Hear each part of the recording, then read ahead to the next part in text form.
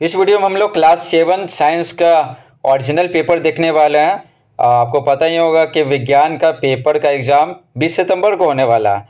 तो ये original paper है, देख सकते हैं। अर्धवार्षिक मूल्यांकन 2023 विज्ञान का पेपर है टोटल मार्क्स रहेगा 50 और समय आपको दिए जाएँगे दो घंटे, ठीक है क्लास सेवन का। तो आगे बढ़ते हैं, बिना समय गवाए हुए। अगर आप चैनल पर नए हैं तो चैनल को सब्सक्राइब कर लीजिए। सारे सब्जेक्ट का ओरिजिनल एग्ज़ाम पेपर है ना? इसी चैनल पे आपको मिलेगा।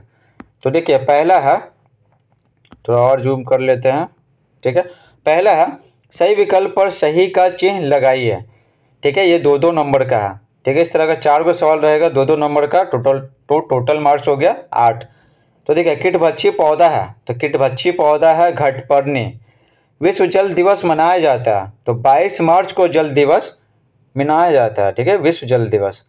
नेक्स्ट है पित्तरस का स्त्राव होता है तो पित्तरस का स्त्राव यकृत से होता है, ठीक है?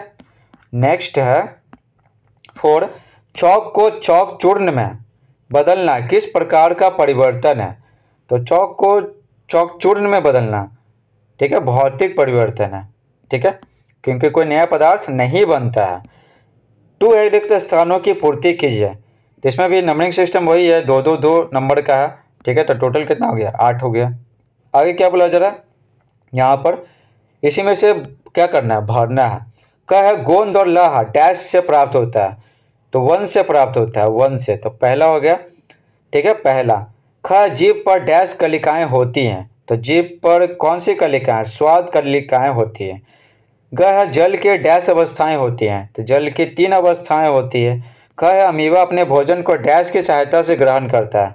तो पादाव की सहायता से ग्रहण करता है। ठीक है? पादाप की सहायता से। थ्री ए सही मिलान कीजिए, ठीक है? तो ये टोटल आठ आठ नंबर का। क्लोरोफिल कहाँ पाया जाता है? पत्ती में पाया जाता है। मशरूम क्या है? मृत जीवी का उदाहरण है। जंतु विषमपोषी होते हैं, यानी दूसरे जीवों पर अपने भोजन के लिए निर्भर होते हैं। और गैस क्या है? Carbon dioxide gas carbon dioxide एक गैस है। फोर देखिए फोर इसमें भी नंबरिंग सिस्टम वही है। दो दो नंबर का है, ठीक है? चारों। तो टोटल कितना हो गया? आठ हो गया। तो बोला गया है, सत्य और असत्य कथनों को चिन्हित कीजिए। कह लाइकेन सहजीवी संबंध का एक उदाहरण है। तो सही है।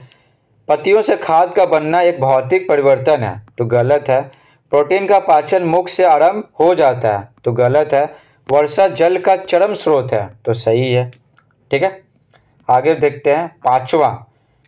निम्न प्रश्नों का उत्तर 20 से 25 शब्दों में लिखिए। 20 से 25 शब्दों में। इस तरह का चार गो क्वेश्चन रहेगा और एक सही कीजिएगा तो दो नंबर मिलेगा। और क्या? चारों सही कीजिएगा तो आठ नंबर मिलेगा। तो पहले क्वेश्चन पेपर देख लेते हैं, उसके बाद इसका सॉल्यूशन भी आपको बताएँगे। ठीक है? टेंशन लेने की कोई आवश्यकता नहीं है। तो बस आप चैनल को सब्सक्राइब कर दीजिए, क्योंकि इस तरह का वीडियो आपके लिए आता रहेगा। है मनुष्य में पाए जाने वाले दांतों के प्रकार तथा उनके कार्यों को लिखिए। तो और क्या है? अथवा।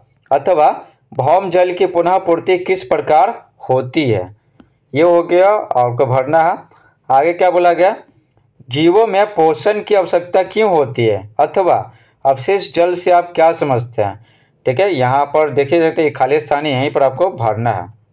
तो क्वेश्चन पेपर में लेगा उसी में आपको लिखना है और दे देना है। टीचर को। यहाँ पर अथवा लिखा हुआ ना तो अथवा यहाँ भी लिखा हुआ, ठीक है? तो दोनों में से कोई एक ही लिखना है, ठीक है? दोनों में से कोई एक ही लिखना है, इसके पहले भी अथवा था तो उसमें भी यही काम करेंगे। दोनों में से कोई एक लिखेंगे, ठीक है? जो आसान लगेगा वो लिखेंगे। सिक्स देखिए, निम्न प्रश्न का उत्तर चालीस से पचास शब्दों में लिखिए, चालीस से पचास। तो यहाँ भी अथवा, ठीक है? ये लिखिए, नहीं तो ये लिखिए तो आपको नंबर मिलेगा दस, ठीक है? दोनों में से कोई एक लिखना है। तो देखिए जल जनित बीमारी क्या है? इस, इनसे होने वाली बीमारियों के नाम एवं उनके लक्षण बताएँ। ठीक है? या फिर वनों में कुछ भी व्यर्थ नहीं होता है, क्यों? तो इसमें तो हमको आसान ये लग रहा है। ठीक है? तो यही आपको बताएँगे। और यहाँ पे देख सकते हैं, ढेर सारा जगह खाली है। और देखिए क्वेश्चन आंसर आपके लिए स्पेशल टाइप कर दिए हैं। ठीक है? ये जो आंसर है स्पेशली आपके लिए टाइप कर दिए। तो आप सब इतना करते हैं तो चैनल को सब्सक्राइब कर दीजिएगा और वीडियो को लाइक कर दीजिएगा। देखिए अथवा तो क्या हुआ था ना तो कोई आसान वाला ही, जो आसान था वही आपके लिए लिखा रहा है। तो एक है मनुष्य में पाए जाने वाले दांतों के प्रकार तथा उनके कार्यों को लिखिए। तो उत्तर लिखेंगे, मनुष्य में पाए जाने वाले दांत कृंतक है रदनक है, अग्रचवर्णक और चवर्णक है। पूछ रहा था ना दांतों का प्रकार, ठीक है? एकदम शॉर्ट में लिखा रहे आपको।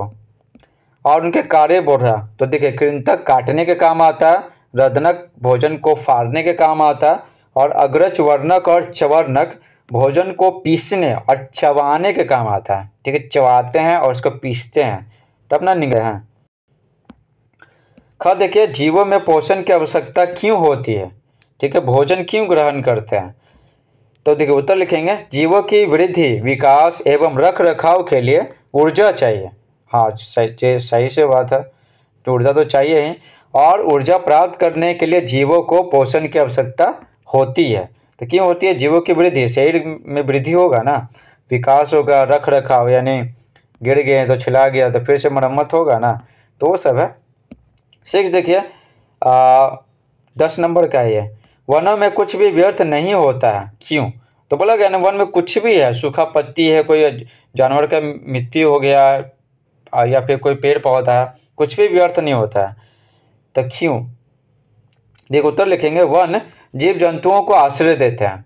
ठीक है तो कोई पेड़ बहुत बड़ा बड़ा है तो वो क्या आश्रय देता है? घोड़े, जेबड़े, हाथी, ठीक है ना, घोड़े, जेबड़ा, हाथी आदि जानवरों के लिए वनस्पति भोजन है। तो उसका पेड़ पौधे का पत्ती, वो तो भोजन बनाता है, और पत्ती है, वो जानवर सब खाते भी हैं।